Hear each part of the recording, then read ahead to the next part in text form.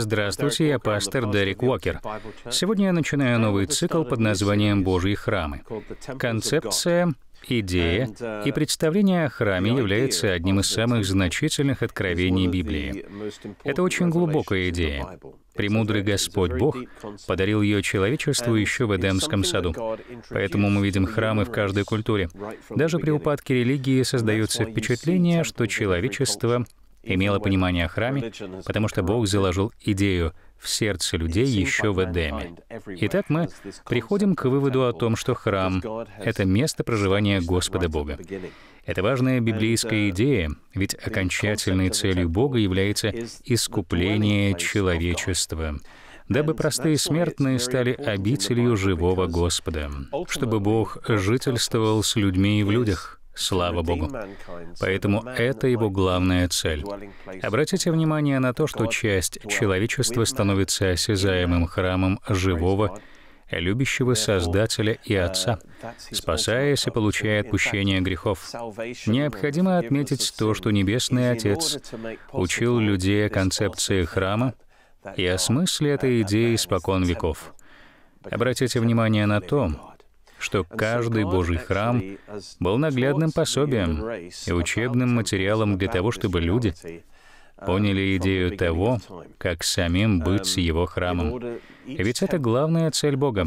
В итоге, храмом Бога является человек, выкупленный Христом. Мы есть его обитель. Мы увидим исполнение этого плана в конце Библии. Пожалуйста, потрудитесь вспомнить о том, что в разные периоды истории Бог давал человечеству разные храмы. Разумеется, были земные храмы. Мы поговорим об этом. Это знаки окончательного главного храма, которым являемся мы. Мы созданы быть храмами Господа. Бог будет жить в нас и прославляться через нас. При этом необходимо отметить то, что земные храмы для поклонения Творцу строились по небесным чертежам. В восьмой главе послания евреям сказано так, «которые служат образу и тени небесного», как сказано было Моисею, когда он приступал к совершению скинии. «Смотри», — сказано, — «сделай все по образцу, показанному тебе на горе». Это указывает на то, что земные храмы строились по образу незримого, небесного мира. Небеса — это реальное место. Там есть горы, реки и город. И земля — это образ небес. Друзья мои, Дело в том, что земные материальные объекты — это символы и знаки духовных небесных реалий.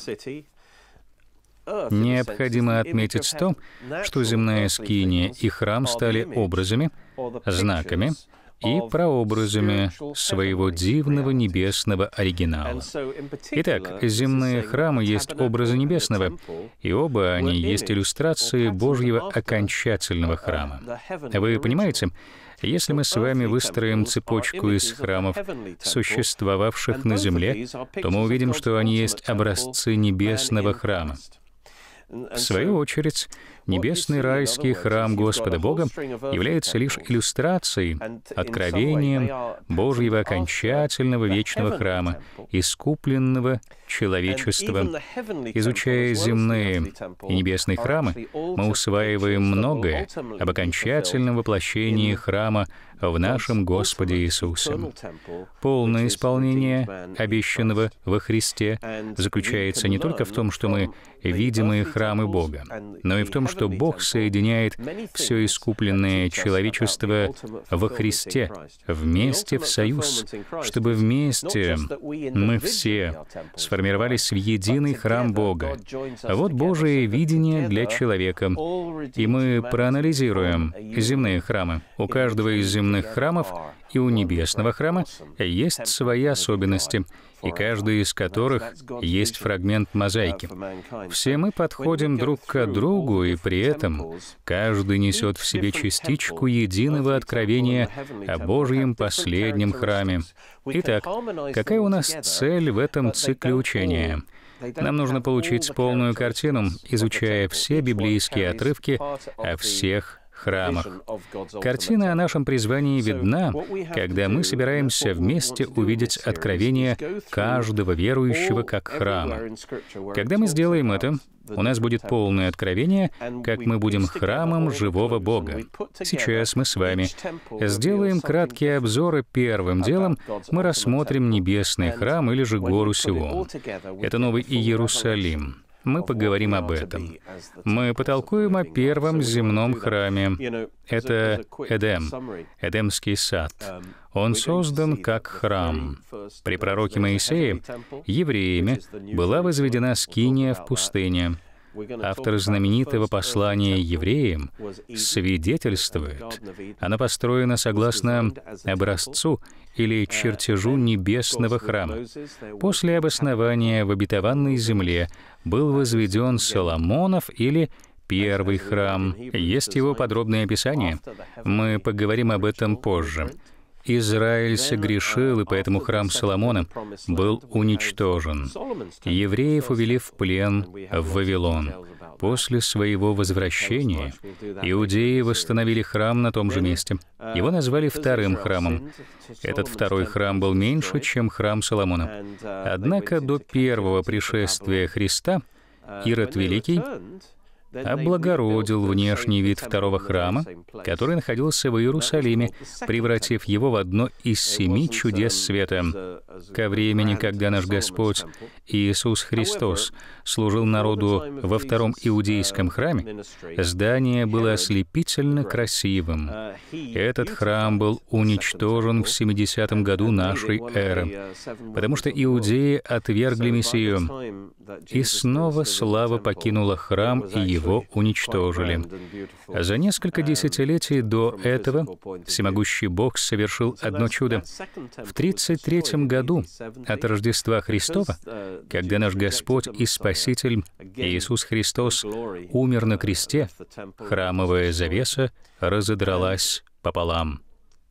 Тем самым Пресвятая Троица объявила человечеству, мы переселяемся в другой храм. Через какое-то время после этого, в день Пятидесятницы, церковь родилась и наполнилась Духом. Она стала новым Божьим храмом. Теперь, через заключение Нового Завета, милостивый Господь Бог вселяется и живет в людях через приход Святого Духа. Теперь церковь буквально стала храмом Бога на этой земле. Примечательно то, что в Библии есть пророчество, с которым не все христиане согласны. Это ясное пророчество о третьем храме. Это будет осязаемый храм, здание. О нем говорил Захария, а также Даниил. Это будет в конце века. Этот храм периода скорби. Именно там два свидетеля будут благовествовать и призовут суд на 1260 дней во время первой половины периода 70 недель пророка Даниила. Это строение упомянуто во втором послании Фессалоникийцам как Божий храм и в одиннадцатой главе Откровения как храм Бога. Итак, после этих трех с половиной лет, в которые эти два пророка и праведника будут благовествовать неспасенным евреям, Антихрист захватит храм в Иерусалиме и осквернит его мерзостью запустения. Опять-таки, Иисус Христос говорит об этом в 24 главе Евангелия от Матфея. Он сказал о святом месте, это действительно храм Бога, однако оскверненный данной мерзостью. Этот храм однажды будет уничтожен. Позднее возникнет четвертый храм во время тысячелетнего правления Христа.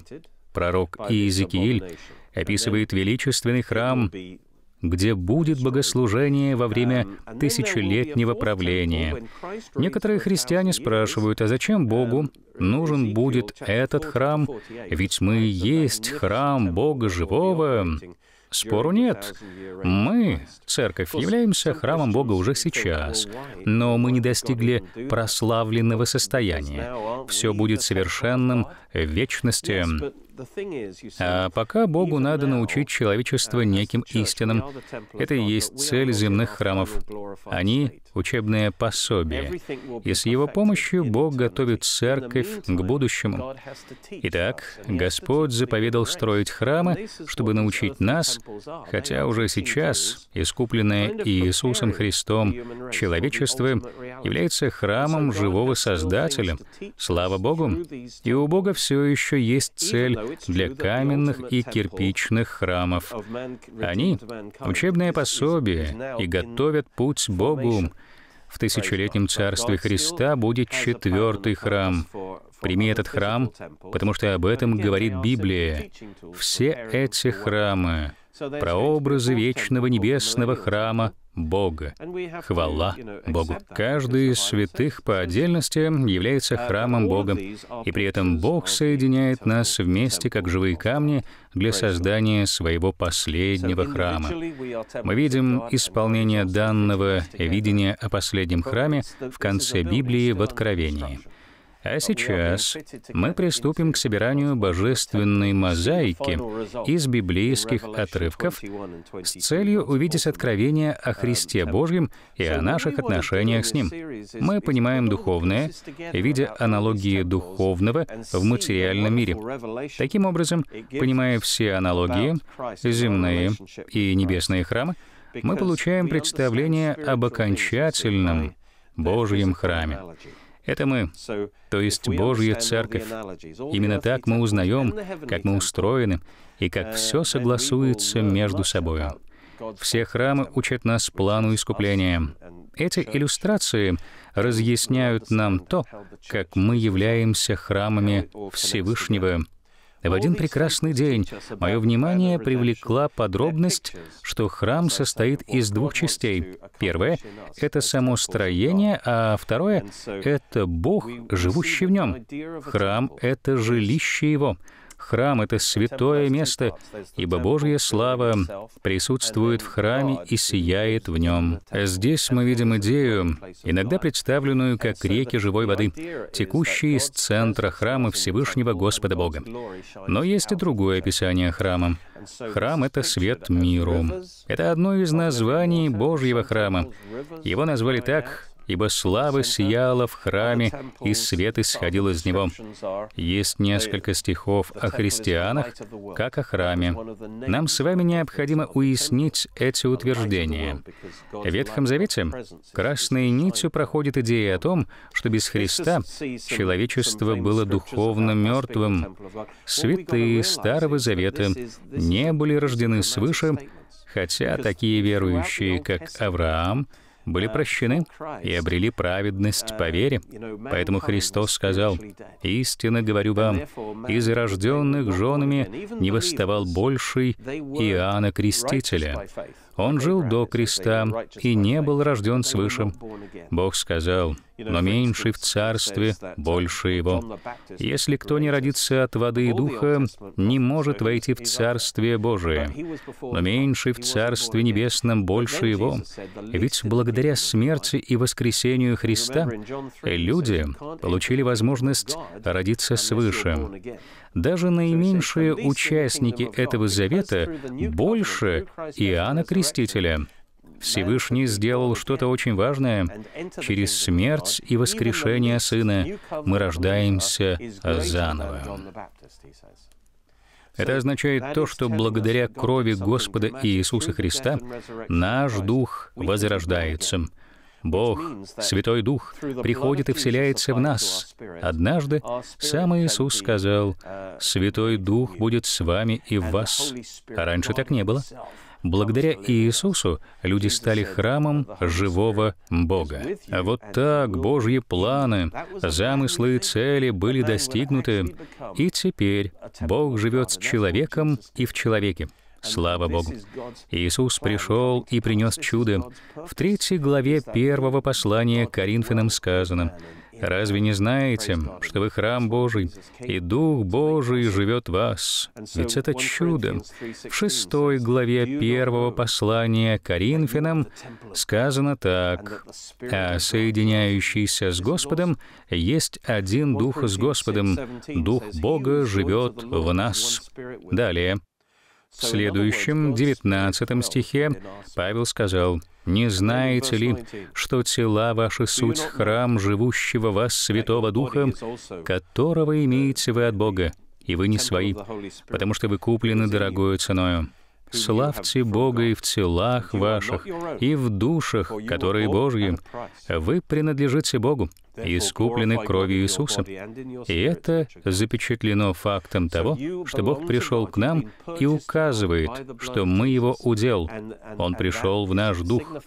А вот еще стих. Какая совместность храма Божия с идолами? «Ибо вы храм Бога живого, как сказал Бог. Вселюсь в них и буду ходить в них, и буду их Богом, и они будут моим народом».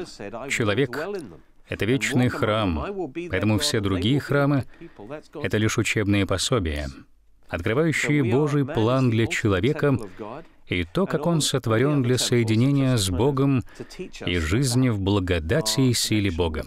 Он сияет через нас, слава Богу. Как я уже говорил, Иисус пришел как безгрешный человек. Он — прообраз этого храма. Он объявил себя храмом Бога. «Я — свет миру». До этого так называли храм, а теперь он назвал себя так. Он сказал это в праздник Кущи, когда все вокруг зажигали светильники.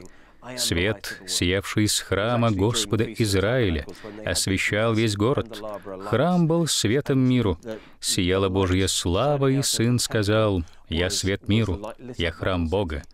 Кто последует за мною, тот не будет во тьме, но будет иметь свет жизни. Он сказал, если поверите в Меня, то я сделаю вас Божьим храмом. Вы будете сиять Божьей славой благодаря Святому Духу и станете светом этому миру, как я. Это исполнится почти в самом конце библейского повествования. «И услышал я громкий голос с неба, говорящий, вот скиния Бога с человеками, и Он будет обитать с ними. Это основная цель Господа. Иоанн пишет, «Они будут Его народом, и сам Бог с ними будет Богом их».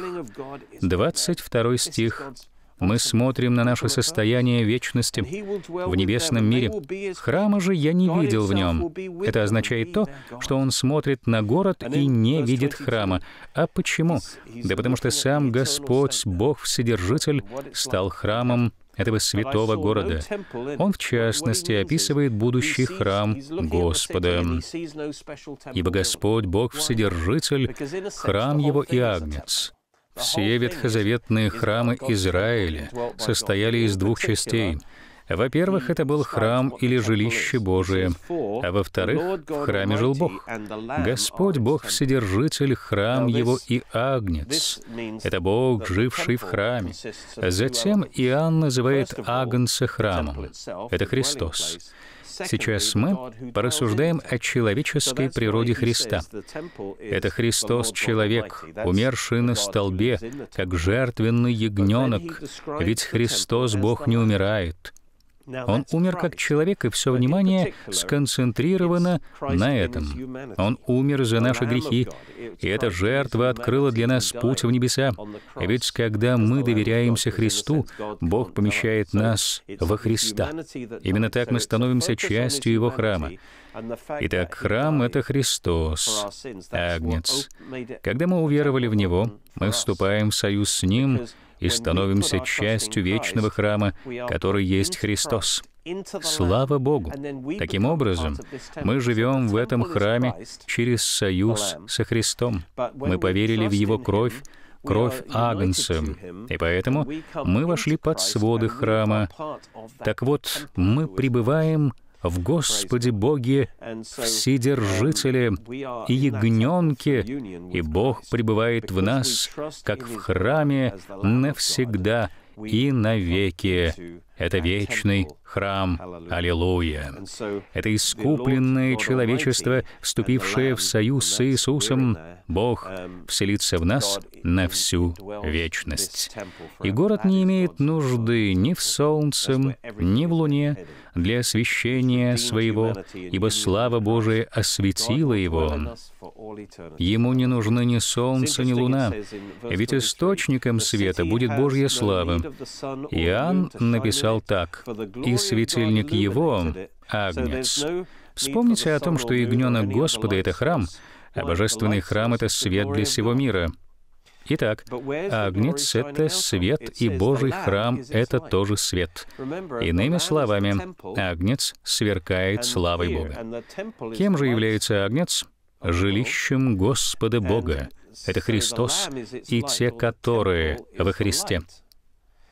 Другими словами, источник света города — это божественная слава, сияющая из его храма, которым является Христос.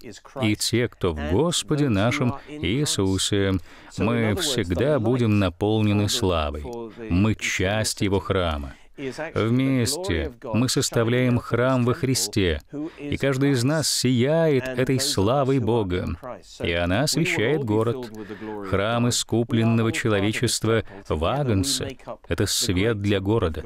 Город освещается славой Бога, блистающей из храма, которым является Христос. В 24 стихе сказано «спасенные народы». Здесь имеются в виду народы из всех стран, которые спасены. Это мы с вами. Они будут ходить во свете Его, и цари принесут в Него славу. Таким образом, каждый из нас будет иметь свою честь и славу. Мы принесем эти дары Богу сообща, и вместе мы являемся храмом Бога.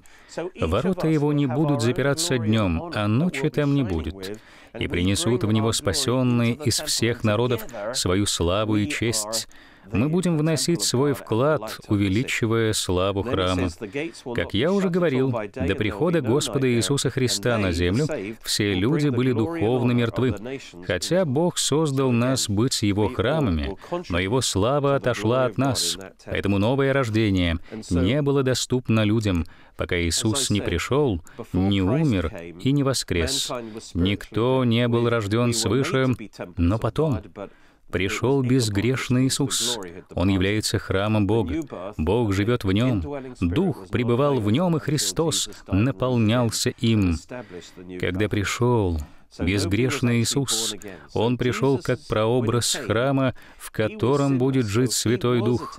Сын стал нашим примером, и Слово стало плотью и обитало с нами. То есть оно поставило шатер посреди нас.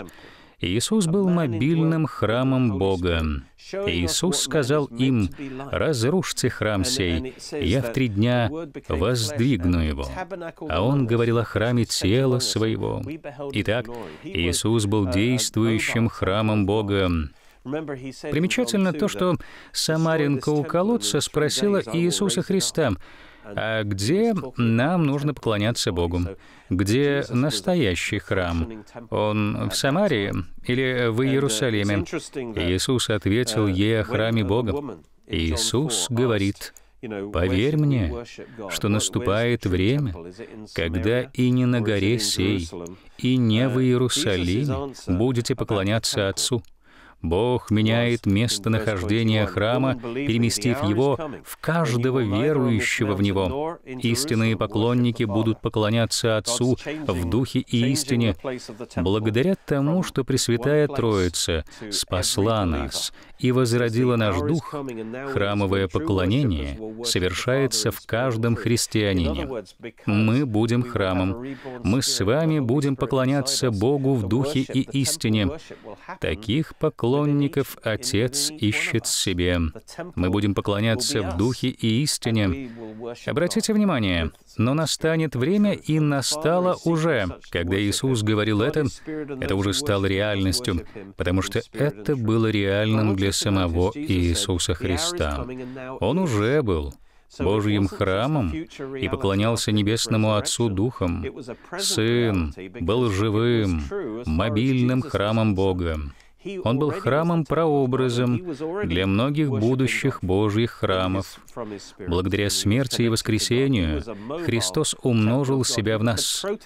Себя Христос описал как пшеничное зерно, которое, упав в землю, умрет. Когда он умрет, то принесет много плода и размножит себя. Через смерть и воскресение Христос воспроизвел себя в нас. Он способствовал появлению такого чуда, как рождение свыше и вселению Святого Духа верующих, что сделало нас храмом. Итак, теперь есть много мобильных храмов Бога, и Бог созидает нас вместе в единый, грандиозный храм Бога в Своем Сыне. Это Его главная цель, чтобы мы стали дивным Божьим храмом. И Он дал пример этому в четвертой главе Евангелия от Иоанна. «Если бы ты знала дар Божий, то ты сама просила бы у Него, и Он дал бы тебе воду живую, кто будет пить воду, которую я дам ему, тот не будет жаждать вовеки. Но вода, которую я дам ему, сделается в нем источником воды, текущей в жизнь вечную. Если вы поверите во Христа и примете Его, то Святой Дух поселится в вас, и сей Дух Святой станет вас источником вечной жизни. Это Бог в тебе — Река жизни — это часть райского храма. В сокровенной части нашего существа текут реки живой воды. Другими словами, мы становимся храмом Бога. Бог живет в нас, и Он источник жизни. И из нашего святого святых, из нашего духа, текут реки живой воды. Эти реки живой воды истекают из нас. Итак, Иисус пришел как храм-прообраз. Своей смертью и воскресением Он воздвиг храм, а именно церковь. Прими его, и ты спасешься. Дух Святой живет в нас, и мы — храмы Бога. Слава Богу! Именно с этой мысли мы начнем наш следующий выпуск.